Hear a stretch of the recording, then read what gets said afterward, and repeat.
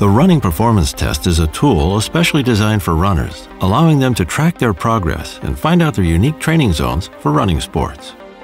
Regular and frequent testing helps you plan your training wisely and follow changes in your running performance. With the Running Performance Test, you can update your polar training zones and follow your progress.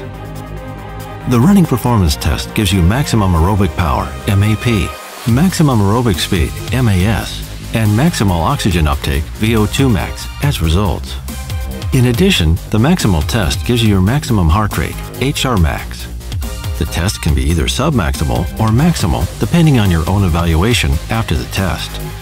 The submaximal test, which requires that at least 85% of HR max is exceeded, is a reproducible, safe, and non-exhaustive alternative to the maximal test. The maximal test is very tough, but it's very accurate.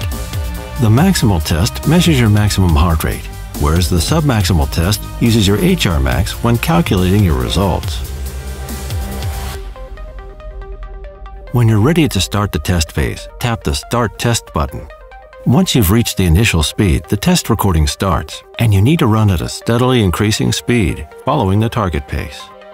The blue value shows the steadily increasing target speed that you should follow as precisely as possible. The white value below it shows your current speed. The watch gives you an alarm if you go too fast or too slow. To complete the test successfully, you need to run for at least 6 minutes and reach at least 85% of your HR max. If you're trying to reach your maximum heart rate capacity, keep running after the minimum test time and 85% of HR max reached messages are shown. When you want to stop the test, just stop running and the test stops automatically. The test results are shown after you stop the test from the watch. The test summary shows your maximum aerobic power, maximum aerobic speed, and maximal oxygen uptake known as VO2 max. To get a more detailed and illustrated analysis of the test, and to update your Polar training zones, sync your V2 with Polar Flow.